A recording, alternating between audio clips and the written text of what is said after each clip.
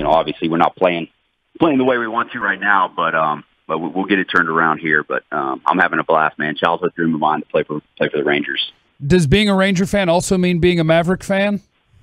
Yeah, I mean, I, I honestly, man, I wasn't a huge basketball, football fan, but I mean, I did, I do root for the Mavericks. I do root for the Cowboys. Um, you know, I was up in Boston for a long time, so I kind of got turned into a Patriots Patriots fan as well. But um, but yeah, I'm a big fan of of of the Metroplex area um, sports teams. That's for sure. Now, how does that work when uh, another team in the Metroplex is in the middle of the postseason? But as a baseball player, you guys pretty much play every single day. Are you able to keep up with that, or is it a priority for guys on the team, or not so much?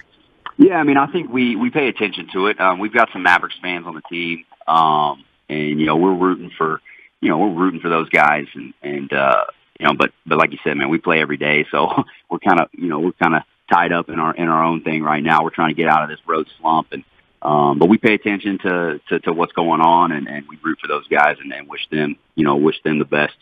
Yeah, Brock, you, you talked you talked about you guys are in a little bit of a slump right now. As a veteran player, is it something that you uh, do you do you walk into the locker room with the guys around and, and try and lighten things up, have fun? I mean, uh, how do you guys uh, you know manage it really day to day and and, and kind of keeping things going? Yeah, I mean that's that's the thing. You got to try. You got to try and take it as if you know we're not in the slump. You know, it's got to be. You know, we, we play every single night. You know, it was, the off day yesterday was was big for us. We were able to to get away for for a day and, and not really think about baseball. But um, you kind of got to have a short memory in this game. Um, you know, we're going through it right now.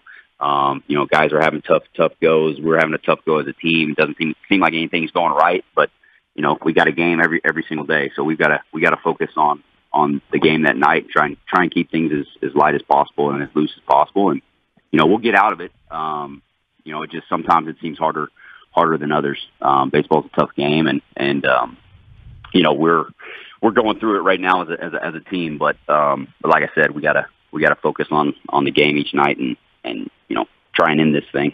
Is it is it simple as focus and all that, or is it like, hey, you just we'll t- you'll take anything right now, fluky win, whatever, uh, wild pitch win, what is that? Is that kind of what you're trying to do right now? Just try and just keep focused on doing the right things, and and, and the wins will come. Yeah, I mean, I think whenever whenever teams are going through little skids, I think I think guys kind of kind of put too much pressure on themselves and and and you know tr- you know try and not um try and not lose the game as opposed to trying to win the game um and you know you you put too much pressure on yourself you're going to go out you're not going to be able to perform um like you're capable of doing so i think i think for for guys who are struggling, for teams who are struggling, it's about going out and just doing the little things. And, and like you said, man, we'll take it any way we can get it right now. Um, a win is a win in the big leagues, and they're hard to come by. So um, you want to give us a pass ball win or a fluky win, we'll take it. That's for sure. It's Brock Holt with you here on your home of the Rangers. So going into uh, take on the Rockies tonight, does does that get the guys talking as far as it being uh, short fences and all that elevated up there, chance to swing for the fences a little bit, or how do you approach that when you're going into a, a tiny ballpark like it? Yeah, I mean, I, it's actually a big ballpark, but it just, I think, you know, it plays, you know, it plays a little bit smaller. Um, the outfield's big. There's a lot of room, but I mean, obviously guys know about Colorado and, and it's a good place to hit, but can't really focus on, you know, trying to, you know, trying to hit homers and we're, you know, we'll, that's the way you get yourself out. So we just got to kind of do what, do what we're good at and, and, you know, hit, hit the ball hard, work on seeing the ball, hitting the ball hard and, and, and let it go where it goes. Um, so uh, you know, hopefully that's what that's what we'll do these these next three games, kind of get it going a little bit.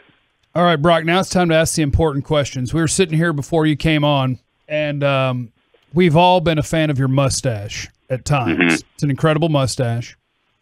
Then we stumbled upon that your middle name is Wyatt.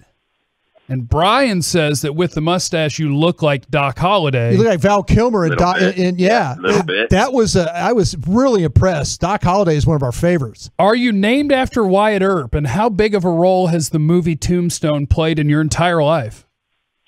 Um, actually, I don't believe I am named after Wyatt Earp. I think Wyatt is just a name my mom and dad like, um, which you know it, it fits well. I feel like Brock Wyatt just kind of rolls off the tongue um, pretty well.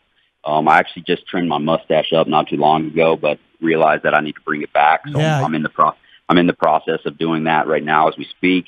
Um, it'll take me take me a little while, week or two, to to, to get it to get it going. But um, but but no, I, I grew that mustache in quarantine last year and just kind of fell in love with it. I had it for a while, and and then I kind of fell out of love with it, and uh, you know now I think it's it's time to time to bring it back. Um, so so it'll be back here here shortly.